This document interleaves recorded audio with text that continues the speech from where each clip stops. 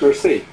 Uh, thank you very much. Um, I have a, a, shorter English version which I will uh, I would like to read.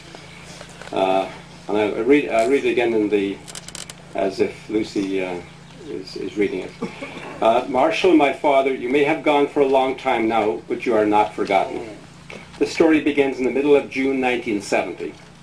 We are three persons in my little family. My father, Marshall, is union director for Local 333 of the Bakery and Confectionery Workers of America. As a young man, my dad was in the army also, so his ways were a bit military at times. My mother, Therese, worked part-time for the Library of Montreal, and she's a housekeeper for the rest. She's a good temperament, calm and laughing. And there's Lucie. I'm 16 years old, a terrific teenager.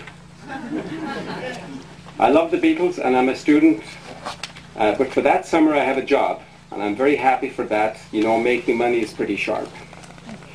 In the middle of June, Papa was invited to Los Angeles for business. Often when my dad made a trip to a beautiful place, he would invite my mother to join him. But my mother doesn't know what to do. She would like very much to make the trip with dad to California, but I have to stay in Montreal for my new summer job, so she hesitated. If she goes with her husband, I have to go for two weeks to my aunt's place, and she knows that I hate that. One week before the trip, my dad said to my mother, Teresa, my, to my mother, Teresa, you have to make a decision. Are you going with, with me, or do you stay at home with Lucie?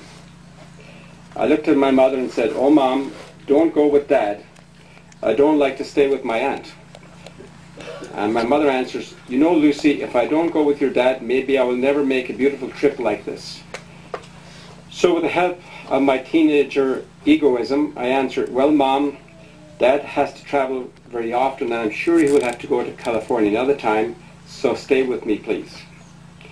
Shortly after that, Dad went to buy tickets, but Air Canada did not have any seat left for July the 4th, so he took a ticket for July the 5th. Saturday the 4th, Dad was feeling good, and in the evening, Mom, my best friend Louise, Dad, and, and I met and ice, uh, met, ate an ice cream together. Uh, at about 5 o'clock in the morning, July the 5th, I woke to the sound of my dad's electric shaver.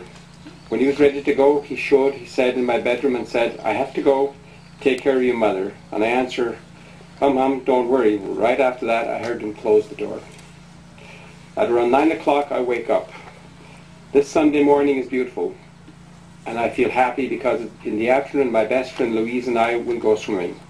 My mother and I listen to some music. At 11.45, Louise calls me and tells me that her mother would like to talk to mine. Louise's mother then says to my mom that she saw in the news that an Air Canada plane had crashed in the at Toronto airport. But she said, don't worry, if it had been your husband's flight, he would have received a call from Air Canada. After this call, my mother remembers that we have a cousin who works for Air Canada at the Dorval airport, so my mom calls him.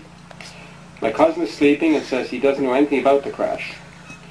He writes down the number of my father's flight and says he'll call back in a few minutes. We waited for what seemed to us like a long time for the phone to ring. Maybe 20 minutes after that, someone knocks at the door. It's